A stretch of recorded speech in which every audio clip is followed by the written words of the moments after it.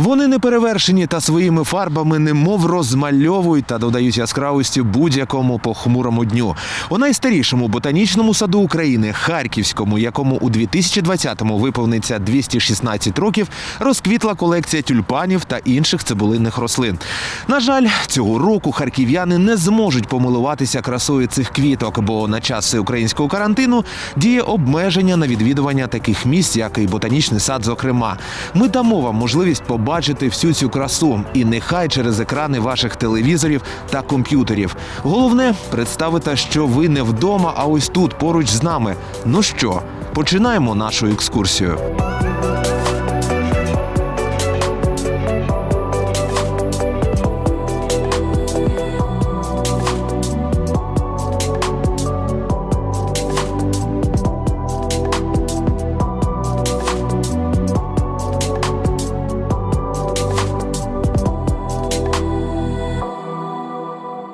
Нашем саду большая коллекция тюльпанов, больше 330 сортов у нас. Ну и видов около 50. Э, В этом году коллекция перезимовала неплохо, но цветение из-за того, что холодная погода достаточно, цветение растянутое. То есть э, тюльпаны цветут, как им и положено, по группам. Есть у нас ранние тюльпаны, есть поздние, есть средние. Тюльпаны у нас э, представлены всех классовых групп, какие сейчас существуют от ранних дарвиновых, простых, до махровых, зеленоцветковых и тюльпанов Рембранта. Э, Все группы. И цвета, как вы видите, белые, красные, сиреневые, почти черные, ну, темно-бордовые, те, что называются черными.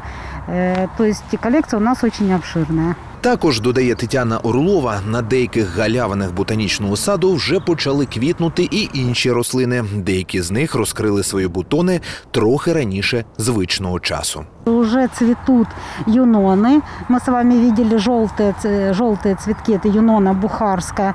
И цветут разные э, сорт- э, виды рябчиков.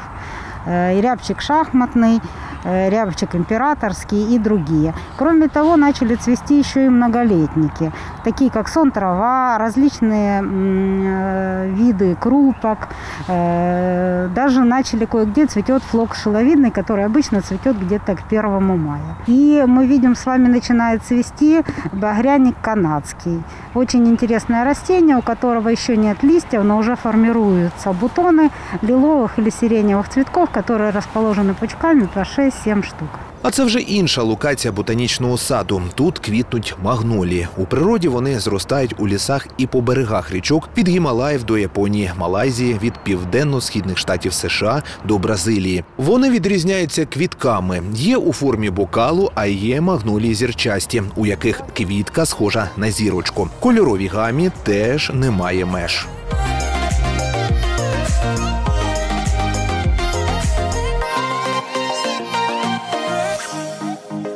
Есть белые, розовые, более темно, темно-розовые, малиновые, желтые, очень декоративные.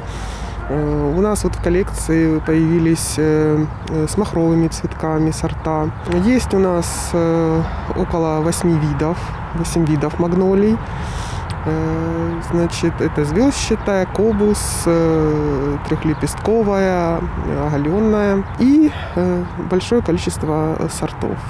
Более э, 40 э, разных сортов.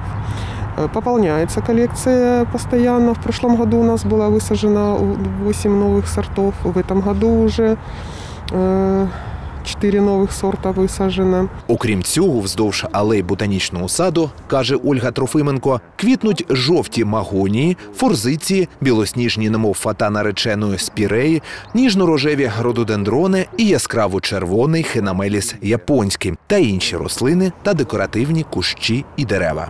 К сожалению, в связи с э, кар- карантинными мероприятиями, в этом году харьковчанам придется набраться терпения и ограничить э, наслаждение природой экранами телевизоров.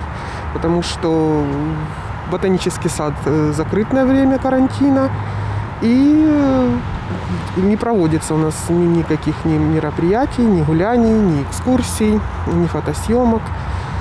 Вот, поэтому в следующем году или после окончания карантина какие-то другие растения можно будет увидеть в цветении. Ігор Безкровний та Ярослав Кононенко. Харківські звістя.